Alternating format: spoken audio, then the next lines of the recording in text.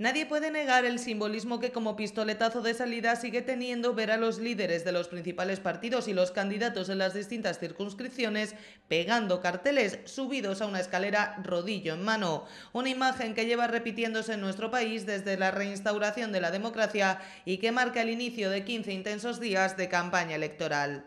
La escena volverá a repetirse esta noche cuando los partidos ya han convocado a sus simpatizantes en diversos puntos de la ciudad para dar comienzo a la campaña más para unas elecciones generales en Ceuta desde hace 30 años.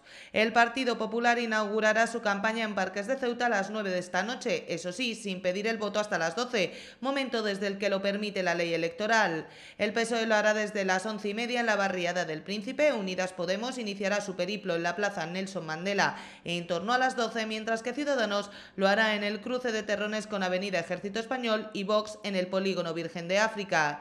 En Ceuta además pegará carteles por un mundo más justo que realizará un acto simbólico en la playa del Tarjal con su candidato a la presidencia del gobierno, Agustín Endour.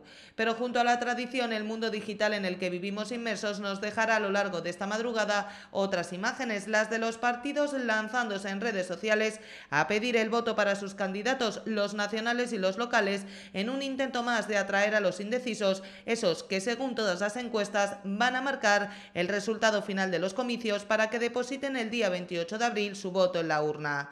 En nuestras pantallas volverán a colarse las fotos de candidatos sonrientes que bajo los lemas de los distintos partidos realizarán sus promesas electorales también a través de Internet.